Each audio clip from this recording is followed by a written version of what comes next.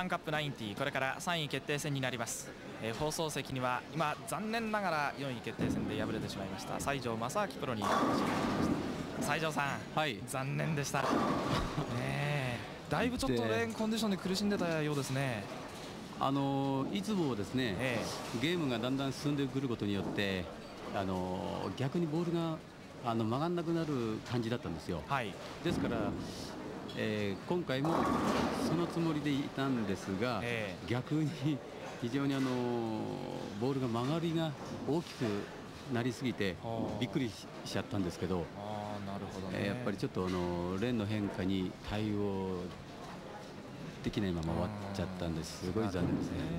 あの放送席ではですねちょっとあの話してたんですけども、はい、まあ、日本人でただ1人残ったそういったところからのそのプレッシャーというのもやはりあったんではないかということなんですが西条さん、どうでしたか？自分で、まあ、プレーしてて。いやあのレーンコンディションが普通にあの自分の考えてた通り大体あのその通りでしたら、別にそういうプレッシャーはないんですけど、はい、えー、必要以上にちょっと自分が考えてるほど以上にコンディションが変わってきたのにびっくりしてたんです。あなるほど、ね、はい、やはりあのライトのせいもあるかも分かりませんですね。あ関係、えー、しかし加谷さん、はい。まあ、本当にそういった意味でですね、はい、ボーリングというのはこの微妙な変化に対応するそのアジャストというのが 難しいですよね。そうですね、あのたったですね幅が1メーター6センチであの1万ピンまで18メーター28センチなんですよね、はい、その中であのボールをですねどうコン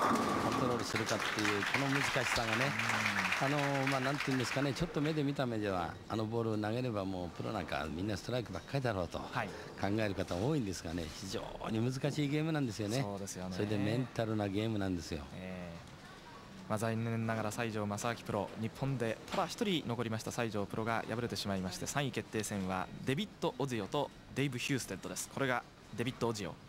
今回が3回目の来日割れてしまいましたこの左側のレーン。ファーストフレームはストライクでした。そうですね。やはりあの自分で練習した時よりもおそらく表に出してるんですけども曲がりが速いんですね。ですから今西条君の言ったようにあのレーンの変化が速いなというふうに感じてるんじゃないでしょうかね。なるほどね、えー、こうなってきますと粕谷さん、はい、やはり上がってきたヒューステッドですねレーンコンディションになるというかこれ有利ですよねあのそういうことでは言えますね、えー、はい勝率が6割2分5厘のデーブ・ヒューステッド。この勝率はラウンドロビンの勝率です。アベレージもラウンドロビンで222というデーブ・ヒューステッド。いや使ったな最後7番ピンが残りました今矢島さん、はい、もう本当にこうガターのところのへりに乗るような感じで。す そうですね、えー、それでまああのよくご覧になっていただくと分かるんですけどももうボールに非常に艶がありますでしょ、はい、もう滑るようなボールを使ってあれだけ曲げるんですからね、ちょっとあの日本人にはちょっと考えられないんですよね。ああ曲がってきました。第2フレームはスペアでした西条さん、はい、矢島さんはですねあのヒューステッドというのはあまり表情が変わらないでちょっとやりづらいんだというふうにおっしゃってたんですけど西条さんどうですか？実際に対戦してみて。いや僕の考えはあのヒューステッドが上がってきた方がいいなと思ってたんでそうですか。その通りでいいなと思ってたんですけどもなるほど。うん同じ負けるんでももうちょっといいゲーム打って負けるんなら仕方がないなと思ったんですけどちょっとね自滅ですからね。なるほどね。相手が210代でしょ、はい、だから決して、えー、そんなスコアが高くない。出たんですね、えー、そうですよね。あのボーリングのスコアっていうのはですねあの最近今コンピューターで計算しちゃいますんで、はい、あの皆さんが、まあ、あの初心者の方たち、はい、自分で点つけるってこと知らないんですけども、ええ、ボーリングはあの本当にねスコアとかストライクの出る場所によっても大きく点が違っちゃうんですよね。でストライクがいっぱいある方がいいかっていうとですね間にミスミスミスって入ったらスペアずっと取ってた方がいい点になるとかですね、あの本当にこのボーリングの点の付け方の難しさまた面白さですね。そういうものもやっぱりあのこう皆さん覚えた方がいいと思いますね。はい。オジオ第3フレームストライク。ここまで第2フレームをオープンとしておりますオジオですからワンマークヒューステッドがリードしています放送席の久保田さん、はい、えクリス・ウォレンプロは日本日本人のボーラーに対して西条プロはグレートボーラー。矢島プロとホクラープロもグッドボーラーと言っていました。あそうです、ね、昨日のラウンドロビンが終わったところでウォレンプロは I really want to ball 西条西条プロとどうしても対戦したいと言っていました。あなるほどね。クリス・ウォーレンプロはトップでラウンドロビンを終了しましてこの勝者といよいよ優勝をかけて争うわけでありますデビッド・オジオ、うん、ダブルは来ません。天品がタップ。しかしあのヒューステッドもオージオもストロークって言いますかね。リリースした後のフォロースローも綺麗ですよね。よく伸びてますよね、はい、前に。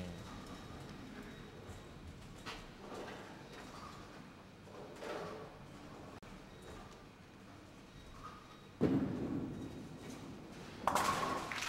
中からきれいに取っていきました。第4フレームスペア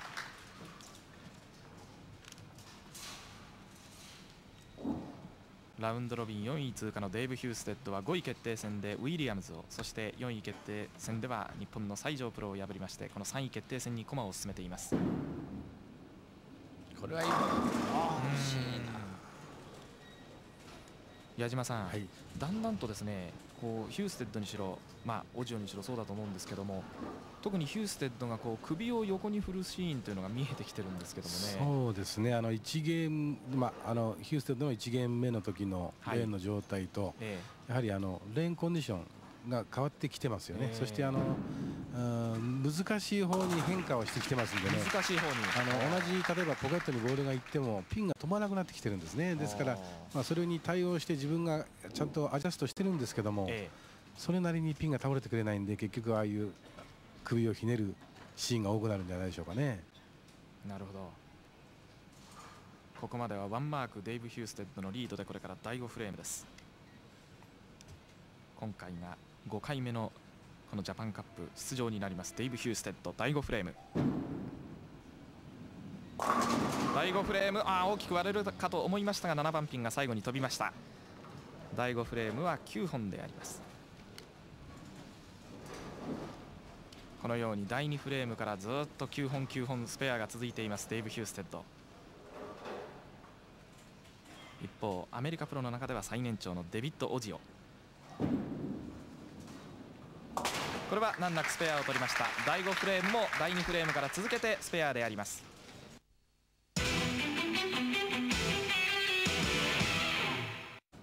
デビッド・オジオ第6フレームバケットを残しました。これはバケットクリア。第5フレームがストライクでした。依然としてワンマークヒューステッドリード。ヒューステッドの第6フレームです。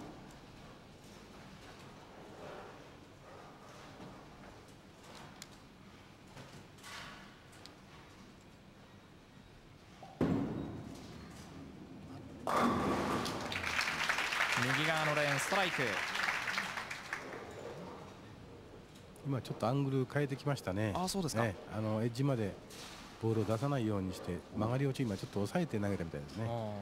どちらかというとこうまあストレートに,、まあ、近いというかね、まあ本人の頭の中のイメージをちょっと出して戻してるとなんか10番ピンが飛ばないから、はい、ちょっと変えてるのかもわかんないですね。まあでも勇気いりますよね。そうでしょうね。この1ゲームの中で変えるということはね。左側のレーン。出してませんね。8枚目ストライクきました。ダブル。ヒューステッドダブルでこれで2マーク。先ほどあれ5枚目の外までねボール出してましたからね。はい。大したもんですね急に変えて。そうですね。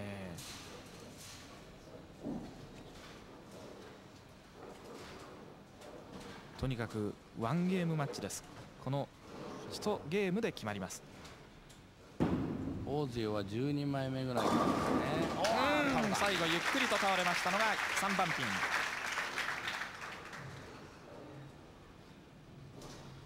2マークリードされていますので粕谷さん、はい、オジオとしてはこの第8フレームは絶対にストライク欲しいですね。8クーと欲しいですね、そうですよね、はい、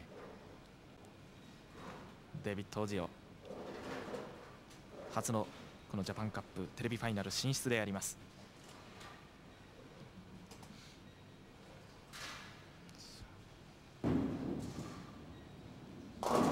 いや来た西条さん、はい、ちょっと薄いかと思ったんですけどもね。あのくらいは食べるでしょ。うあそうですか、はい、あの先ほどはもうちょっと薄くて、えー、えー、4本残ったんですけど、はい、あのくらいだったらまあなんとかストライクが9本にはなりますね、はい、でもみんなやっぱりこの練習してる時とやっぱりだんだんアングル変わってきてますねそうですか、だいぶ変わってますね、えー、さあまた引き離すことができるかヒューステッド。ああ出ちゃったな。あ戻ってきた。これはちょっとラッキーですね今のはね自分の今思ったより。矢島さんが今ラッキーあちょっと苦笑いしてます、えー、これは。1型いくかなと思ったんですよ、えー、本人もね、えー、おっと思ったんですよ。それがストライクになったんで、ね、強烈に。やっぱりあの辺がやっぱりよくボールを拾ってはいますね、えー、L 字型クランカーと言います。ぐっと曲がってまいりました。まあ、日本語で言うと曲げしとかいうことで言葉を当てはめることができるかと思いますが。あこれちょっと好きだな。どうだ？天品が残ります。あのアングルではもう天品が止まらなくなったんでね。ええ、さっき変えたんですけどね、ええ、今は元のアングル出ちゃったんですよ。はあ、ですから天品が飛ばなくて、ええ、今のはミスですね。あそこまで出しちゃうと天品が飛ばないんですね。ですから先ほどは8枚目ぐらいまでまっすぐ出してストライク取ったのがたまたまこのフレームは5枚目の外まで行っちゃったもんですからね。あの天品が飛ばないで。今のはミスですね多分、第9フレームスペアとなりましたヒューステッド。2マークのリード。オズヨにとりましては大変大事な第9フレームになりました。ラウンドロビン2位で通過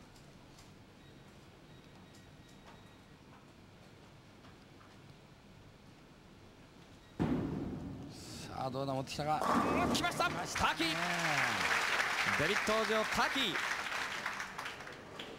テンフレ全部ストライクが来て2いくつですか？220同ピンですね。両方ともオールウェイすると同ピンですね。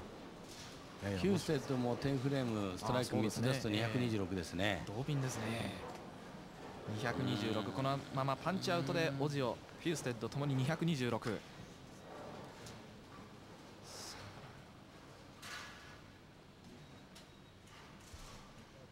ラストフレーム。残した方が負けですね。そうですね。はい。どうだ来ました。ガッツポーズ。デビット・オジオ。見せます。アメリカのパワーボーリングその真髄をこの東京ポートボールで披露しますデビット・オジオ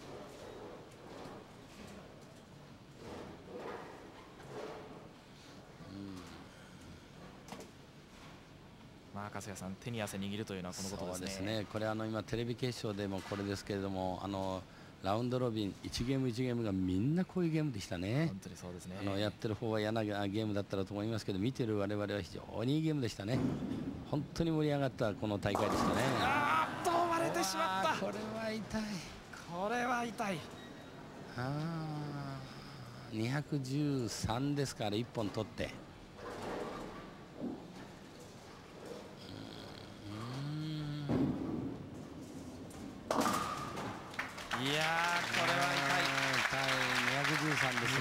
213でゲーム終了です。デビット・オジオこの1球ですね。問題はヒューステッドの1球にかかってますよ。ね、はい、えー、テンフレの第1球。